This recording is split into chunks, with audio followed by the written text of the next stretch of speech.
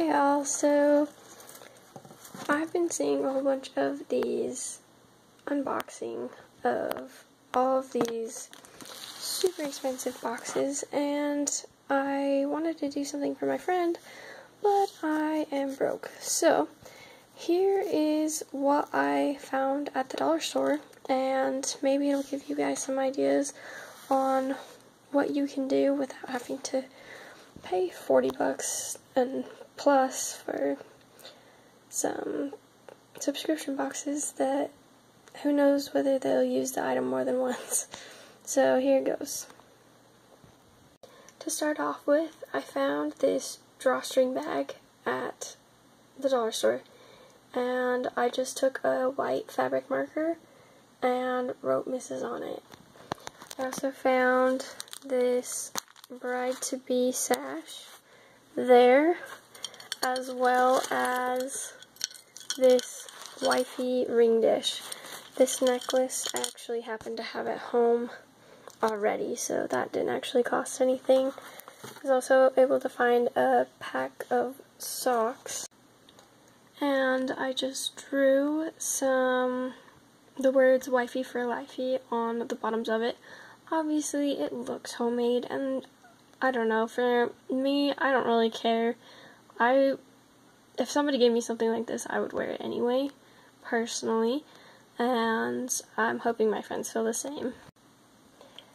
I was also able to find these cute spa type slippers, and I just went over um, in fabric marker again, because obviously I really like fabric markers, but they're just simple little spa shoes. Um, slipper type things that they can wear around the house. They're definitely not very good quality. I mean, they're dollar store. But I mean, how long are they really going to want to wear these anyway? I also found this cute ring hanging decoration. And I think it's adorable. It's definitely not as high quality as like those ring balloons, but I mean, we're working with dollar store items here. So, and then I found this um, facial cleanser and face mask, which I've used and it seems to work pretty well for my skin at least. Can't say about everybody. But um, then I also found this Enjoy the Ride notepad, which I just thought was so cute. Because getting engaged, getting married is such a ride. Like, there's so much that goes into it, and it's really hard some days. But I just thought it was really cute. And then, of course, there's the diamond pen. Um, just so fun, so cute. Um, I happen to have one a set of 16 of these that I got from a friend, so I'm just giving one of them to my other friend here. Um, I also found these scrunchies, and I love the little saying to having to hold your hair back, so I just stuck that on there. Um, definitely just put it together with tape, nothing fancy. Also, to go along with the uh, spa type thing, I found this manicure set. has nail clippers, um, also has nail file, trimmer scissors, cuticle pusher, so that was pretty cool. I also, I happen to have these um, diamond paper clips that I think are so fun. They're so cute. Um, and they work really well. I honestly have no idea where I got them from, but they work really well. So I just gave half of them to her and I kept half of them for myself. Um, I also found this cute little blue candle again to go with the spa theme. Um, definitely um, would use myself. I have used this candle before. Um, Dollar Store has some good stuff, you guys. I also had just this um, Satin Hands by Mary Kay at home. Um, pretty sure it was a free sample that I got from a cousin or something. And then, again, more free sample stuff, I got these Crest white strips.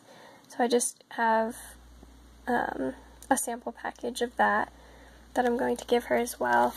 And then inside the box I've got this fun plastic sparkly uh, filler and a lint roller which honestly would be useful to get all of the sparkly stuff out of off of everything else. And then there's just some cookies and cream kisses intermixed to go along with the theme of something blue. And I just taped something to the inside of this box. Honestly, this box just came with a t-shirt. Um, but uh, I just reinvented it so that I can give it away. Definitely be firm believer in regifting. So I'm just taking some tissue paper from, again, the dollar store. Uh, dollar store is your friend, guys. And I'm just slowly packing in all of the items into the box. Now that I've gotten all of the items in there, and it honestly doesn't really matter how you organize it because I, or at least if you do it like me, I literally am just going to stick all of the glittery, frilly plasticky stuff on top anyway, so it's not like they're going to be able to see anything, so just pack it in however you want, and especially if it's going to be moving around.